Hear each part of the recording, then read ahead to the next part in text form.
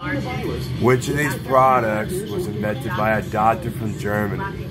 It's Dr. Martens. Where are you guys going? John, what did you pick? Uh, I guess Dr. Martin. Dr. Martin. Come on, guys. Susanna, we can't do this without your Oh, help. I know my shoes. I picked Dr. Martin. You picked Dr. Martin. The Oh, correct sure answer you is do. Dr. For Martens. a